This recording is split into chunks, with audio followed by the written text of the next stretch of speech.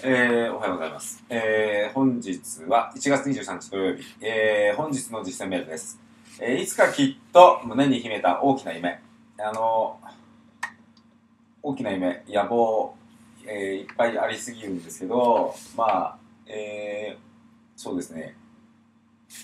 うちは神社の参道にあって、反対側が今駐車場になってるんですけど、あの、まああまり、こう、街に駐車場って貢献しているようでいて、そんなに貢献していない。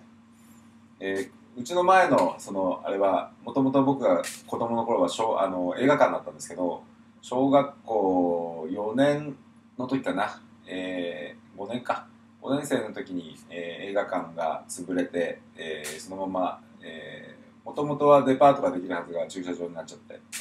なんか、うん、そこにビルが建ってると、まあ、自分家が暗くなるので自分がオーナーでビルが建てれると、えーいいかなっていうところはあります。あのもともと映画館の前は前橋座っていうあのなんていうんですか？いわゆるこう工業をやってるいろんな上りが立っている、えーまあ、ろう、なんとか一座とかそういう人たちが出てくるような、えーところだったみたいなんで、まあ、それをなんか復活させたいな。うちの前橋市にはそういうのを長期ロングラン公演するようなものが何もないなっていうのをすごい感じてるので、文化面でそういうのがあるといいかなっていうのと、えーこの町には、えー大きな、まあ、あの素敵なホテルがないんですね。えーホテルがないので、今、えー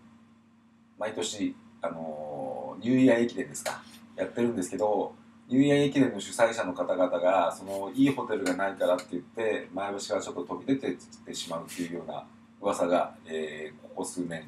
あの飛び交っています。そういった意味では、えーそういったちょっと若干、えークオリティが高いホテルとかっていうのがこういうところにできるといいのかなというのを感じていますので、その辺について、えーやれたら自分も貢献ができたらっていうのを若干感じているっていう今日この頃でした。以上です。